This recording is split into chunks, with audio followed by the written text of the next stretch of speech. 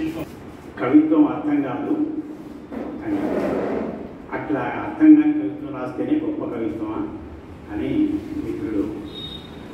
ఈ చర్చ అర్లీ నైంటీస్లో ప్రారంభమైంది. డైరెక్ట్గా శివారెడ్డినే ఒక ఇంటర్వ్యూలు జరిగినాయి ప్రసంగాలు జరిగినాయి. ఏంది అర్థం కాని కవిత్వం రాస్తున్నావు? ఇది ఎవరికి అర్థం? జీవితం సంక్లిష్టంగా ఉంది కాబట్టి నా కవిత్వం కూడా సంక్లిష్టంగా ఉంది. జీవితం సంక్లిష్టమైతే దాన్ని సులభతరం చేయటమే కదా కవి చేయాల్సిన పని. అది నా పని కాదు విమర్శకు చీమ చీమ ఎందుకు పుట్టినావు అంటే నా బంగారు కుక్కలో ఈ కథ చెప్పినట్టు ఇది అందరికీ అందరూ తప్పించుకోవడం కాదు. ఇప్పుడు ప్రజెంట్ జరిగేటువంటి చర్చ. ఆర్ఎస్ఎస్ మూలాలు అనేటువంటి పుస్తకం ఒక రెండు నెలల కింద వచ్చింది. అది ఒక నెలలోనే రెండు లక్షల కాపీలు అప్పుడు విన్నాను. ఎందుకు అప్పుడు పోయిందని?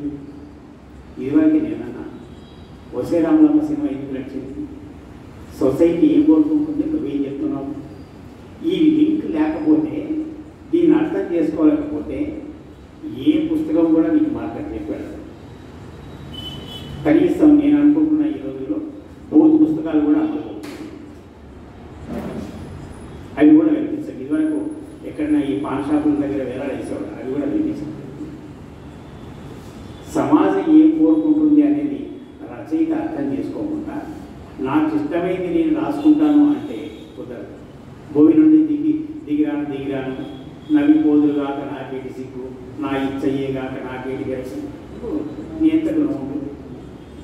ఇదో సమాజం కావాలనుకున్నప్పుడు వాళ్ళకి ఏ భాషలో చెప్తే ఎట్లా చెప్తే అర్థమైంది? మా విరసన సభలో కొత్తగా వచ్చినప్పుడు అల్లం రాజయ్య కథల భూమి అనేది కనిపిస్తుంది. చిన్న పుస్తకం దాంట్లో ఐదు కథలు మాత్రం ఉన్నాయి. దాదాపు తెచ్చి పెట్టినట్టు కాపీలు పోతున్నాయి. ఎన్ని కాపీలు వేసినాయంటే వెయ్యి కాపీలు వేసినా. ఒక రోజుకు వెయ్యి కాపీలు వెళ్ళిపోయినాయి ఎందుకంటే సమాజం కోరుకుంటున్నాను నీ దగ్గర.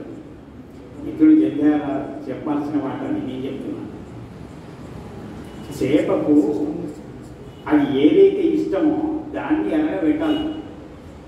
నీకు ఇష్టమైనది ఎలాగ పెడితే అది తినదు నీ నీ బుద్ధలో ఆ చేప రాదు.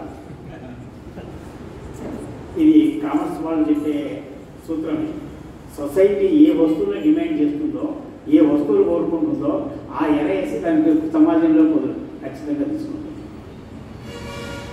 ఈ విజిగీష ఈ చర్చ లేనంత కాలం వట్టి అలంకారిక రచనలన్నీ కూడా అవి అందమైన శిల్పాలే. దట్ విచ్ ఈజ్ లైక్ జీవం లేని శిల్పాలని చూస్తామా సజీవ శిల్పాలని చూస్తాం సజీవ శిల్పాలు సృష్టించడానికి వీళ్ళు ఉన్నారు ఇంకా కాళ్ళు చేతులు ఇంకా చక్కగా కావాల్సింది అది సృష్టిస్తే మన కర్ణలో ఏ స్థాయిలో ఉంటుందో ఆలోచిస్తాం థ్యాంక్ యూ